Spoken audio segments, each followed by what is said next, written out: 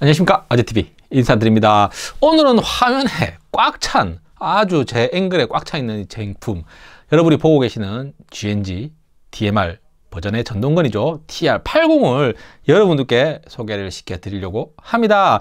영상을 시작하기 앞서서 오늘 영상은 HNC 소프트로부터 어, 영상 촬영에 지원금을 지원받아서 촬영이 되었음을 참고하시고 하지만 어, 제품에 대한 뭐 제가 좋았던 점, 나쁜 점은 제 가감 없이 말씀을 드리도록 할게요. 그러면은 어, 여러분들과 이 GNG사의 TR80에 대해서 한번 알아보는 시간을 가지도록 하겠습니다. 빠르게 박스를 개봉하겠습니다. 먼저 개봉하기에 앞서서 박스는 GNG 특유의 이 컬러풀한 박스 아주 깁니다. 생각보다 길이가 상당히 길어요. 어, 스펙을 나중에 뒤에 가서 한 번 더 말씀드리겠지만 총의 길이가 스톡을 다 뽑는다고 가정을 하면 1m가 넘어가는 길이를 가지고 있습니다. 박스는 빨리 개봉을 해서 제품을 올려두고 계속 진행을 하도록 할게요. 자 제품을 개봉했습니다 총의 길이가 상당히 길다 보니까 이 지금 제 카메라 앵글에도 다 안 들어올 정도로 꽉 차게 들어오는 것 같아요.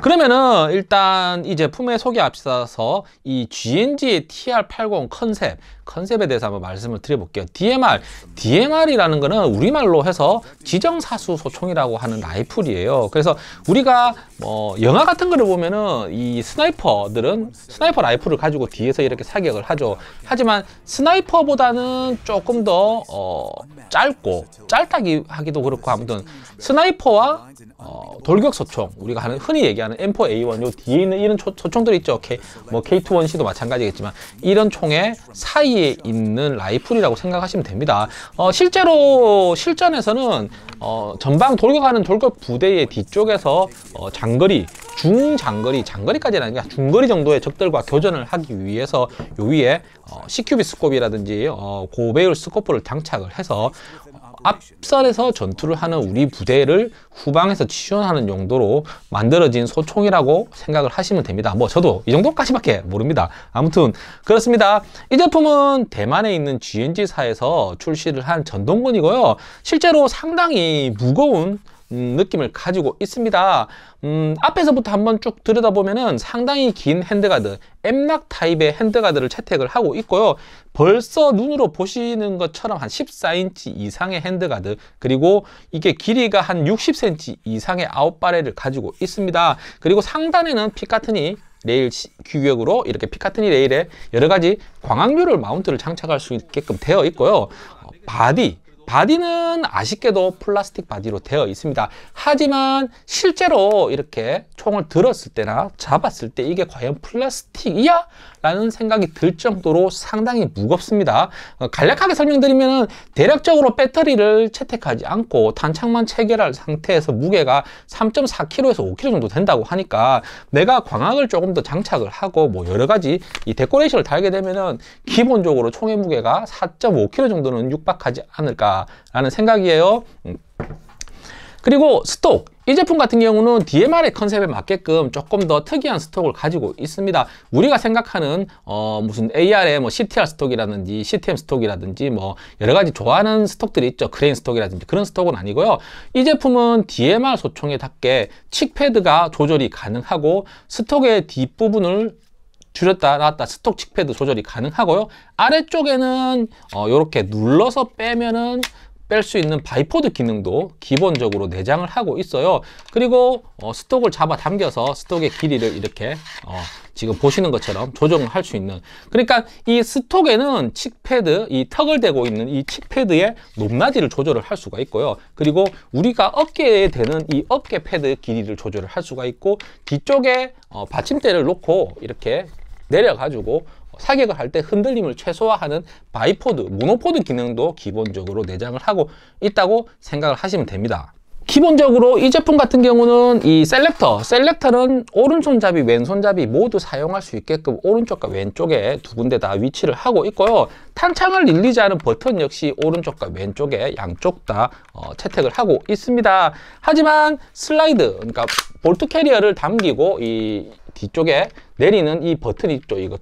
이렇게. 예, 슬라이드를 bolt carrier를 장전하는. 우리가 실총 같은 경우는 이렇게 당겨서 장전을 하겠죠. 이렇게 장전을 했을 때 bolt carrier를 release하는 버튼은 오른쪽에는 없습니다. 보통 우리가 GNG에서 나왔던 전동건들은 주, 우수, 좌수 다 사용하게끔 양쪽 다 있었는데 이 제품은 이렇게 왼쪽에만 채택을 하고 있습니다. 그 점은 조금 아쉬워요. 하지만 그 이전에 제가 어, GNG의 MCP556을 한번 리뷰했던 적이 있는데 MCP556과 동일하게 요 장전 바, 이 손잡이 있죠. 이 손잡이는 빼서 오른쪽에도 장착할 수가 있고 왼쪽에도 장착할 수가 있으니까 내가 오른손잡이, 저처럼 오른손잡이라고 하면은 이쪽 왼쪽에 장착을 하고 내가 왼손잡이라고 하면은 이쪽에 장착을 하시는 게 편하겠죠.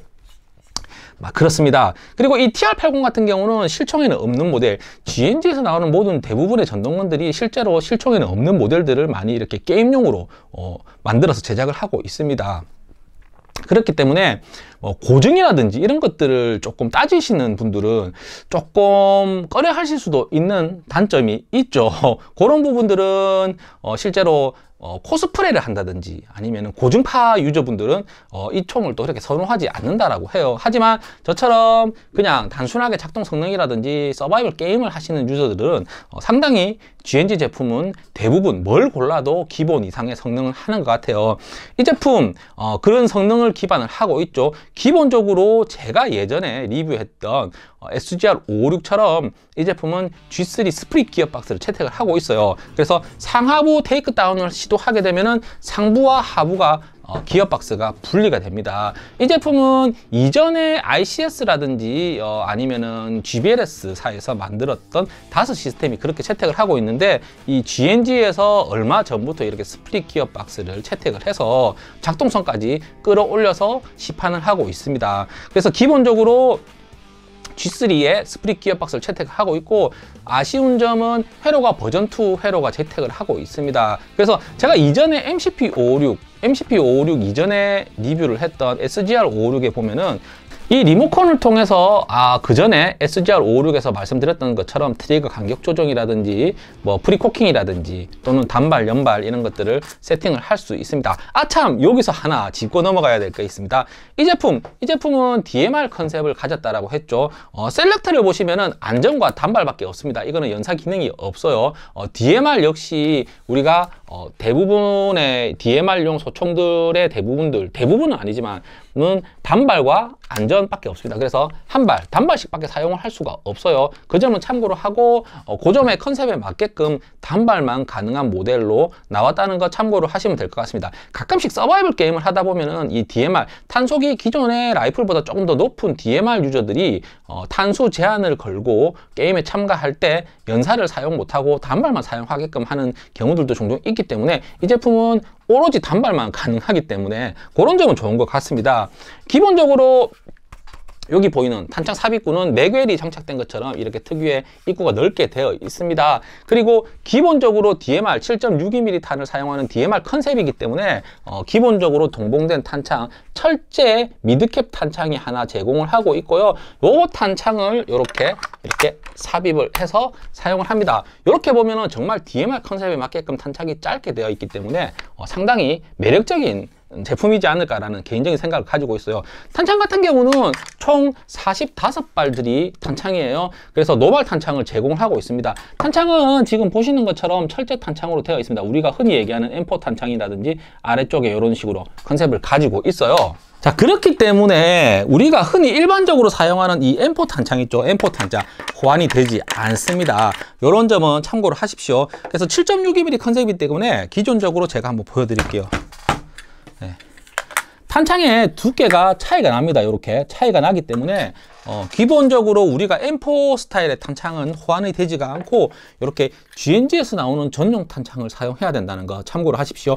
그리고 탄창의 앞쪽에는 탄 밀대가 이렇게 위에 튀어나와 있습니다. 튀어나와 있어서 어, 잔탄 기능, 그러니까 탄이 남는 경우가 없어요. 그래서 bolt stop 기능도 기본적으로 내장을 하고 있습니다. 이렇게 탄을 다 사격을 하게 되면은 사격이 끝나고 bolt stop이 걸리게 돼요. 더 이상 작동이 안 하겠죠. 탄이 없을 때. 작동을 안 하기 때문에 탄창을 뽑아보면 이 탄밀대가 위로 다 올라가서 chamber 안에까지 탄창을 밀어주기 때문에 비비탄을 밀어주기 때문에 잔탄이 남지 않는 효과가 있다라고 합니다.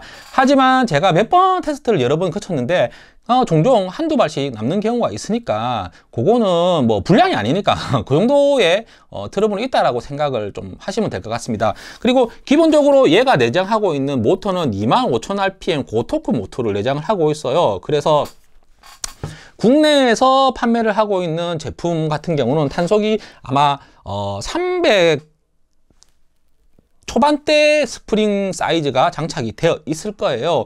기본적으로 0.2g 탄 기준으로 320fps 대만 기준으로 출시를 하고 있어요.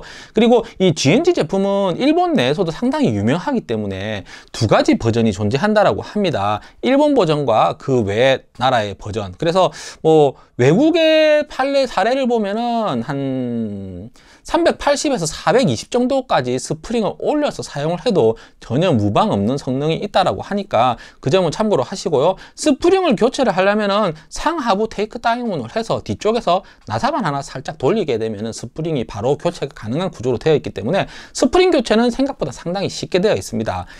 자, 그 외에 부수적으로 기본적으로 우리가 여기에 뭐 CQB 스코프이라든지 뭐 이런 것들을 올려서 사용을 하시겠지만 앞쪽과 뒤쪽에 이렇게 마이크로 프로 사이트, KIC 사이트가 이렇게 나이츠 sight가 micro sight가 있습니다. GNG 특유의 이 sight는 저는 상당히 만족하고 개인적으로 이 sight만 따로 구매를 해서 제 다른 총에도 사용을 하고 있기 때문에 이 sight는 저는 상당히 선호하는 방식입니다. 그래서 뭐 또 선호하지 않는 분들이 있기 때문에 요거는 뭐 탈부착이 가능하기 때문에 뭐 교체를 해서 사용을 하시면 되고요. 그리고 어 전면 쪽에 sling고리가 하나가 있고 stock 쪽, 뭐 stock 쪽에 sling고리를 하나를 가지고 있습니다. QD 스톡 슬링고리가 가져 있기 때문에 이쪽에 어, stock을 그러니까 sling을 이렇게 걸어서 이렇게 목에 걸고 다녀도 되겠죠 게임을 할 때. 그리고 이 제품 상당히 길이가 길다라고 했죠. 이렇게 어, stock을 뽑은 상태에서 이 정도 뽑게 되면 거의 1m에 육박합니다. 그러면은 우리가 gun case에 넣기 힘들죠.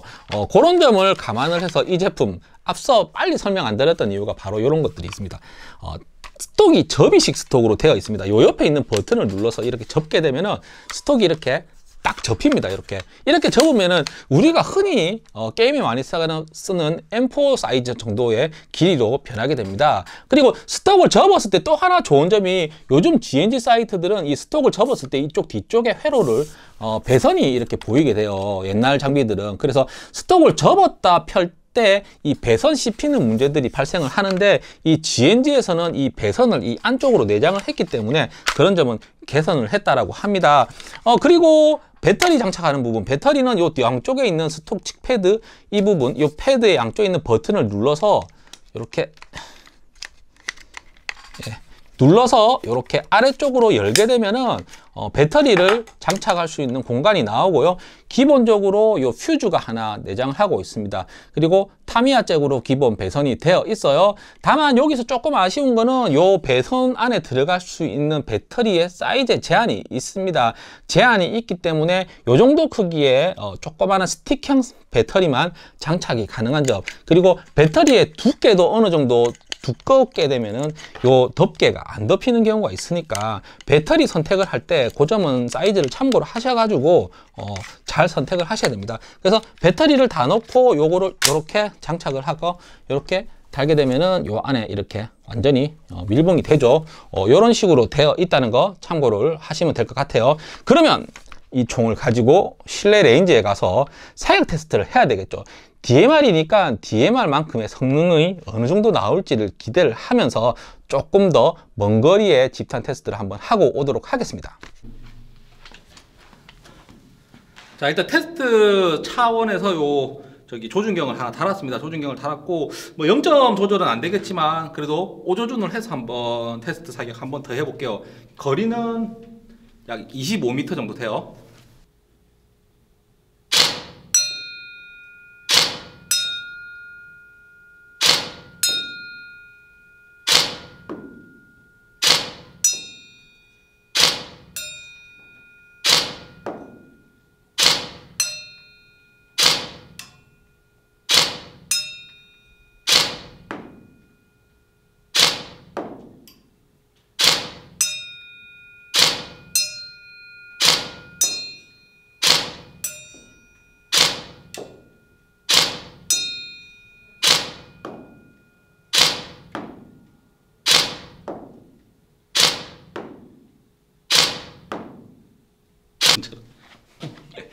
자 여기서 그 저기 거치 거치 사격을 할 거예요. 최대한 좀 안정성을 좀 확보하기 위해서 거치 사격을 할 거고 이게 워낙 총이 무거워가지고 제가 들고 찍으면은 너무 힘들어요. 아무튼 지금 이렇게 사격 진행을 해보도록 할게요.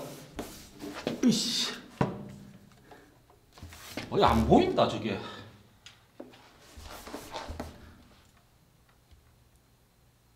와 이거 안 보이는데.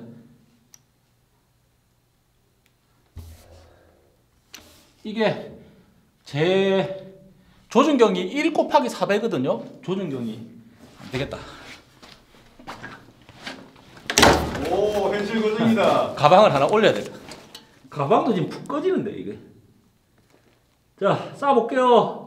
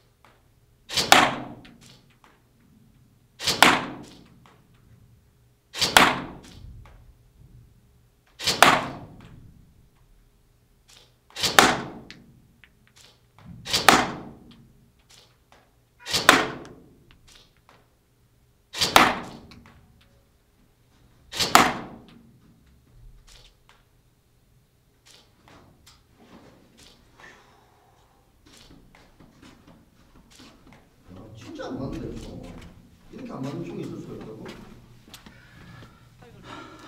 보자. 자, 어, 또 첫 두 번째 자, 자, 사격 테스트를 했고 여기 첫 번째 타켓은 지금 어, 이쪽에 다 들어왔어요. 다섯 발이 다 들어왔고 좀 가까이서 제가 이야기를 하면서 보여드릴게요. 이렇게 이렇게 하면은 보이시나? 네. 하나, 둘, 셋, 넷, 다섯 발. 두 번째는 하나 나갔고 하나, 둘, 셋, 넷. 그리고 요거 세 번째는 하나, 둘, 셋, 넷, 다섯 발. 이렇게. 그리고 네 번째 하나, 둘, 셋, 넷, 다섯 발. 그리고 다섯 번째 하나, 둘, 셋, 넷, 다섯 발. 여섯 번째는 하나, 둘, 셋, 넷, 다섯 발. 이게, 좀 핫한이 나더라고요. 핫한이 나면서 약간 그 좌측으로 제가 바라봤을 때 핫한이 나면서 좌측으로 좀 쏠려 쏠렸어요. 계속 계속 이렇게 쏠리잖아요. 그래서 마지막 타켓은 제가 살짝 오고 조준을 해봤는데 살짝 거의 다 들어가는 것 같습니다.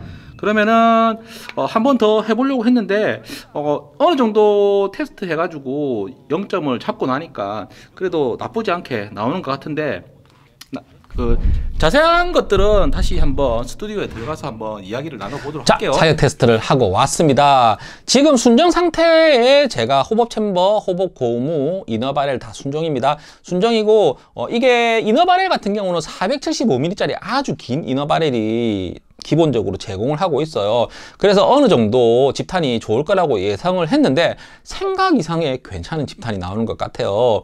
뭐 한 15m 정도 거리에서는 보통 가로 세로 한 7.5cm짜리 영상에서 봤던 것처럼 이런 사이즈 안에 웬만큼 다 박히고 뭐 세팅만 잘한다라고 하면은 이너발의 호복고무 교체 없이도 어, 충분히 한 3, 4cm 안에 있는 요 정도 500원짜리 동전 요 정도의 집탄은 충분히 내지 않을까라는 생각입니다. 그리고 25m, 30m 정도 되는 거리도 어, 제가 테스트했던 철제 그 사각판이 한 요 정도 돼요. 한 가로 어, 지름이 한 10cm는 안 되는 것 같아요. 10cm 정도 되는 이 지름 안에 다 들어오니까 생각보다 상당히 좋은 집탄을 가지고 있습니다. 제가 테스트했던 거는 이렇게 들고 사격을 했거든요. 어, 이렇게 한 거 참고로 하시고 사실 이 대만의 GNG라는 회사 제가 항상 요즘 구독자분들께 어, 입이 닳도록 얘기를 하는 것 같아요.